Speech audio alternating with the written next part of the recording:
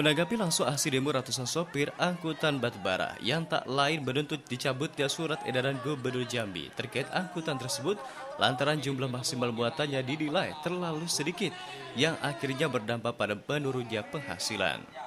Pemerintah Provinsi Jambi akhirnya memberikan penjelasan. Menurut pemerintah, masalah angkutan batubara bukan soal batasan tonase yang tertuang dalam surat edaran tersebut melainkan terkait upah angkut yang seharusnya didaikan oleh pemegang izin usaha pertambangan.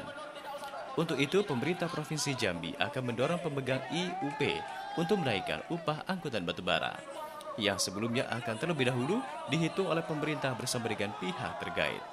Terkait aturan tonase maksimal angkutan batubara, pemerintah Provinsi Jambi tetap akan menggunakan batasan 12 ton, yakni 8 ton merupakan buatan, sedangkan 4 ton sisanya merupakan berat angkutan lantaran aturan batas maksimal tersebut sebenarnya sudah dinaikkan dari yang sebelumnya hanya empat setengah ton saja.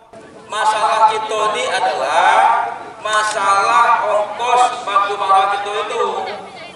Ya, ongkos kita itu tidak cukup. Tidak cukup.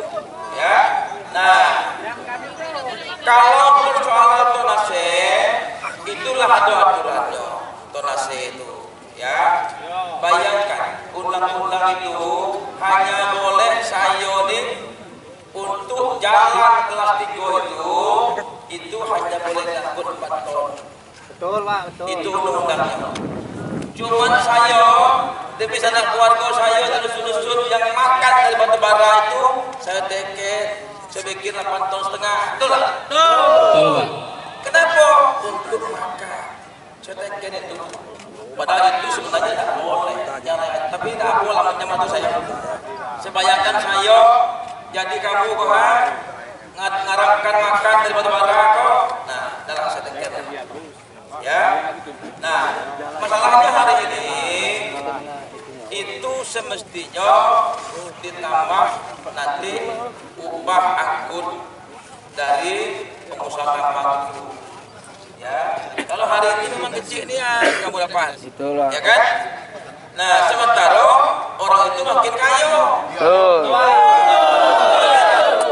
Nah, tugas saya hari ini, Bapak Kapolda Badan Rem, Pak Jati, menghitung dengan BPS berapa layak upah itu. Saya akan minta Pak Menteri, melalui Pak Menteri ke pengusaha tambang untuk dinaikkan upah itu. Bagus. Nah, yang saya